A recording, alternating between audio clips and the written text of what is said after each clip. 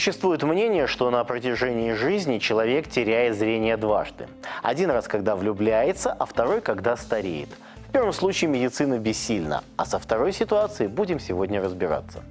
Здравствуйте, дорогие друзья! Как вы уже, наверное, поняли, главной темой нашей сегодняшней программы является снижение зрения и способы решения этой проблемы. Впрочем, говорить мы будем сегодня не только об этом.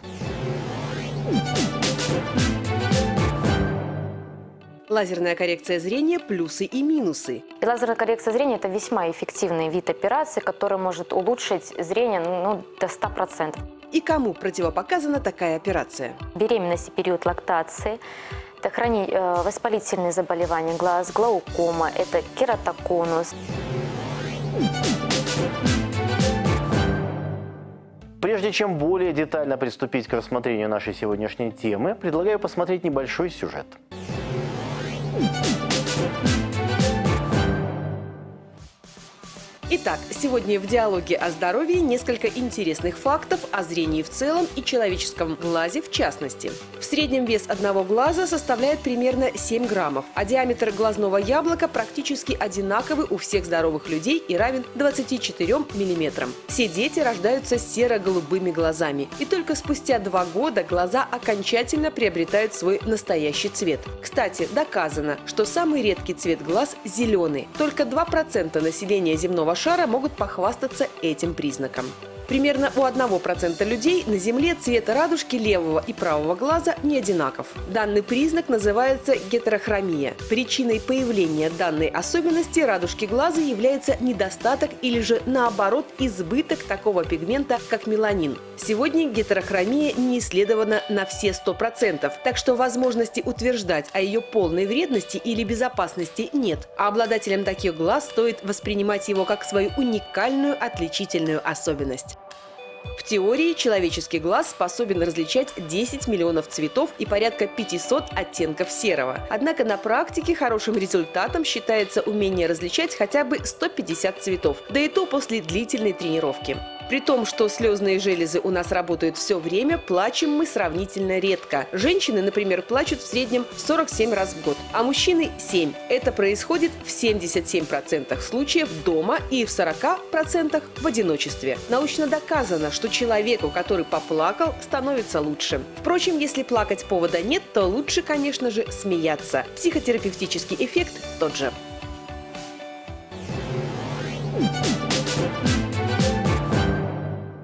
Ну а сейчас самое время представить нашу сегодняшнюю гостью. Итак, знакомьтесь, Швайликова Инна Евгеньевна, врач-офтальмолог. Здравствуйте, Инна Евгеньевна. Здравствуйте.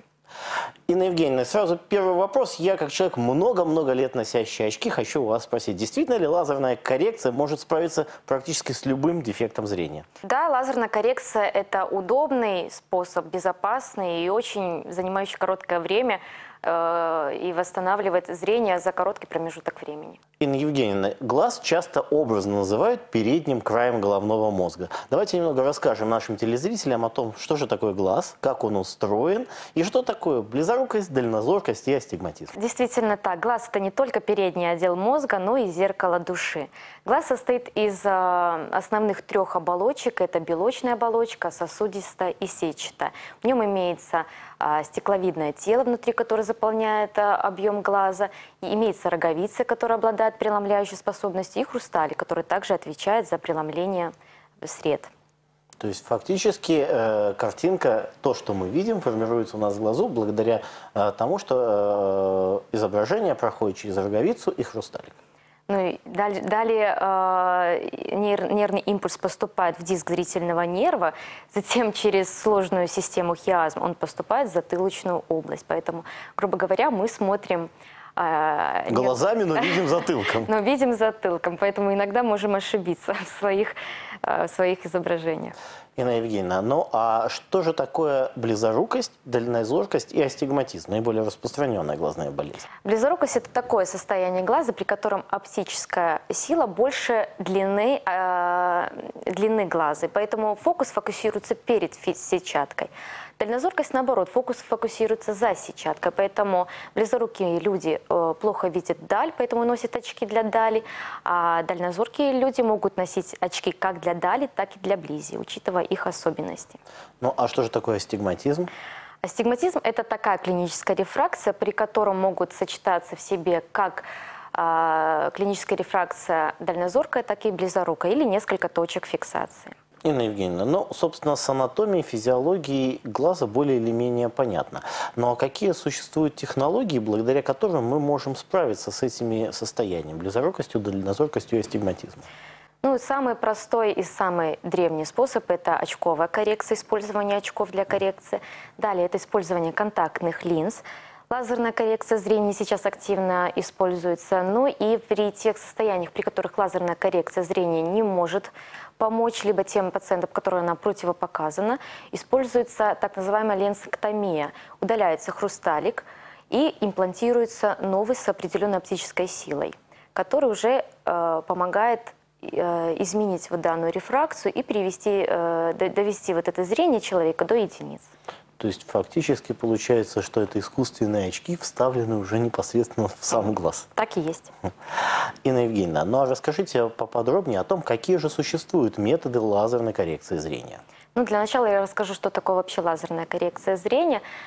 Все э, методики лазерной коррекции зрения, они основаны на э, основных трех этапах. Делается э, маленьким микротомом разрез Э, роговички э, по эпителию, либо по базальной мембране. Убирается этот лоскут, затем специальным эксимерным лазером, либо фемтосекундным лазером, все зависит от вида лазера. Делается специальная, так называемая абляция, то есть подготовка роговицы, изменение в профиле роговицы, уже непосредственно той структуры, которая нам необходима. Затем этот лоскут возвращается назад, и так как разрез очень тонкий, и он не, он не требует никаких наложения швов, никаких заживляющих э, процедур, поэтому просто лоскут накрывается сверху и заживает самостоятельным путем. Существуют следующие виды лазерной коррекции зрения. Это, например, ласик, суперласик, эпиласик, э, фемтоласик. Также имеется а, трансфер-К. Многие пациенты меня спрашивают, в чем же разница? Но на самом деле разница это в выборе лазера и выборе э, вот этого ножа микрокератома. Когда используется вид ласик, делается маленький разрез микрокератома, также лоскут отдаляется назад, и специальным лазером делается стандартная насечка. При суперласике уже эти насечки, э, они индивидуально подобраны для каждого пациента. При э, эпиласике делается, эта операция предназначена для тех людей, у которых очень тонкая роговица. И данный разрез делается очень тонким микрокератомом, которым нельзя использовать, например, э, разрез большим толстым, более толстым ножом. И э, фемтоласик – это вид э, лазерной коррекции зрения, при котором разрез делается не микрокератом, а специальным лазером и фемтосекундным лазером, и также насечки, подобранные под определенного подобраны под определенного пациента. Трансфер-К – это для тех э, людей, вид операции для тех людей, которые, которые боятся всяческих разрезов, и поэтому воздействие лазера действует непосредственно сверху, сверху на эпителий роговицы. Но данный вид операции, он немножко, восстановительный период немножко более э, длительный, так как воздействие идет на эпители, который требует более м, длительный период заживления. Инна Евгеньевна, а скажите, пожалуйста, вообще, насколько можно улучшить зрение с помощью лазерной коррекции? И можно ли вообще каким-то образом спрогнозировать результат этой операции? Вообще лазерная коррекция зрения – это весьма прогнозируемый вид операции. Пациент, который приходит на консультацию для уточнения вопроса данного, он уже уходит с определенным ответом и уже знает на 100%, с каким результатом он уйдет. И лазерная коррекция зрения – это весьма эффективный вид операции, который может улучшить зрение ну, до 100%. Практически 80% пациентов, которые обращаются с данным вопросом, они возвращаются, уходят со 100% зрением. Инна Евгеньевна, ну а сколько глаз нужно оперировать таким способом?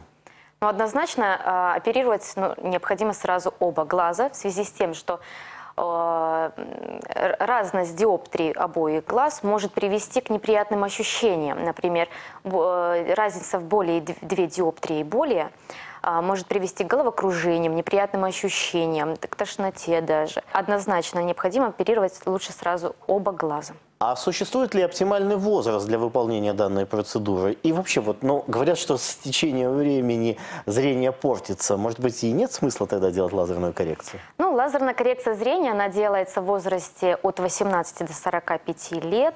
Это делается в связи с тем, что э, до 18 лет организм еще растет, и поэтому, так как и организм растет, может увеличиться и э, рефракция глаза, поэтому мы ждем где-то 18-летия. Но это не касается для гиперметропии и астигматизма, потому что она не зависит от возраста. Но после 45 лет начинаются такие изменения, как возрастная дальнозоркость или пресбиопия, которая тоже может изменить э, некоторые э, моменты, поэтому мы рекомендуем и э, делать лазерную коррекцию зрения от 18 до 45 лет. Инна Евгеньевна, а есть ли э, противопоказания к выполнению данной процедуры?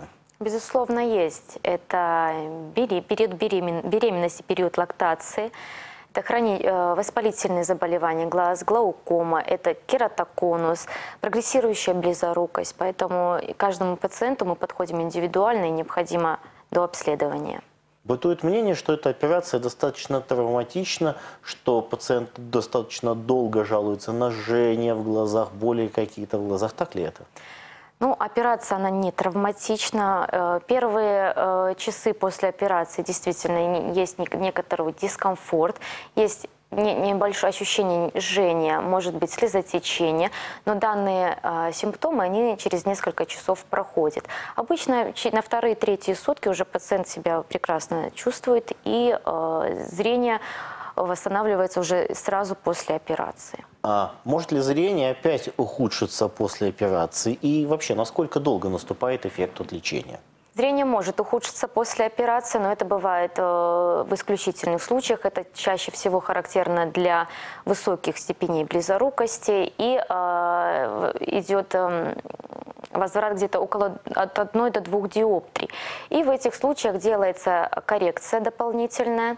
Э, зрения, что является э, второй операцией. Поэтому обычно это в течение полугода, года уже мы обращаем на это внимание. Мне неоднократно приходилось слышать о том, что после операции лазерной коррекции зрения глаз становится очень уязвимым к внешним воздействиям, там, допустим, травмы, падения и так далее. Что по этому поводу думает современная офтальмология?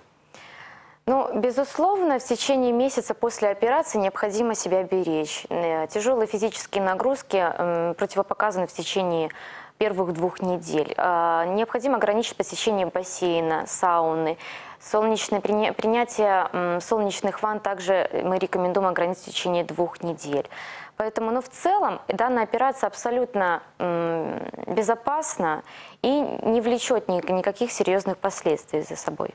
Инна Евгеньевна, ну а что можно делать в послеоперационном периоде, а чего нельзя делать в послеоперационном периоде? И вообще, как себя вести после этой операции?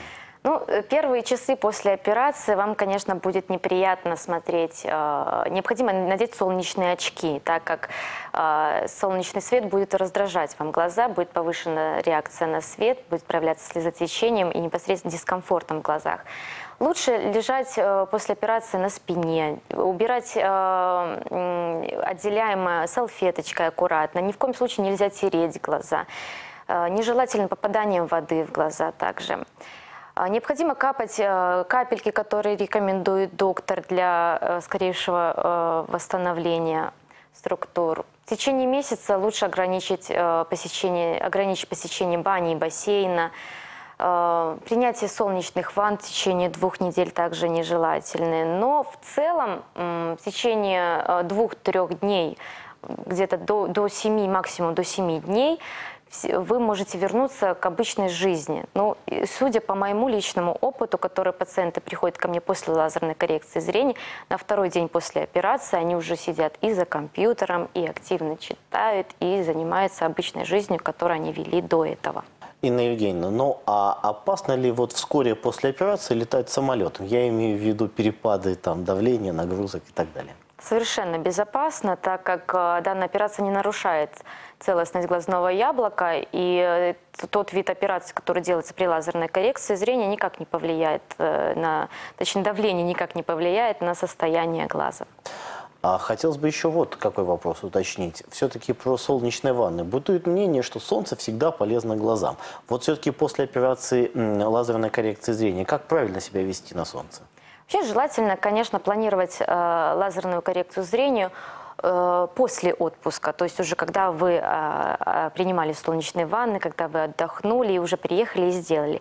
Но летний период не является противопоказанием для лазерной коррекции зрения. Ну, в течение, мы рекомендуем где-то в течение первых двух недель отказаться от принятия солнечных ванн, но обязательно носить солнечные очки. Очень часто, как и от обычных людей, так и от профессионалов-офтальмологов, можно услышать такую мысль о том, что после операции по лазерной коррекции зрения нельзя рожать. Можете ли вы успокоить женщин? На самом деле лазерная коррекция зрения никак не влияет на беременность. Но мы рекомендуем после лазерной коррекции около года э, не планировать беременность, так как гормональные сдвиги, которые возникают у женщин в течение беременности, могут изменить именно рефракцию глаза, но не нарушить коррекцию зрения. Поэтому, если вы хотите сделать себе лазерную коррекцию зрения, ну, полгода, год подождите, а потом уже можете. Инна Евгеньевна, наша беседа уже подходит к своему завершению, и самое время дать нашим телезрителям несколько общих советов о том, как же сохранить свои глаза здоровыми. Чтобы сохранить свои глаза здоровыми, больше бывайте на свежем воздухе, употребляйте больше натуральных витаминов, делайте обязательно зрительную гимнастику, ну и получайте удовольствие от э, каждого насущного дня. Ну что же, Инна Евгеньевна, спасибо вам за советы, за содержательную беседу. Я напоминаю, что сегодня у нас в гостях была Инна Евгеньевна Швайликова, врач-офтальмолог, и мы говорили о лазерной коррекции зрения.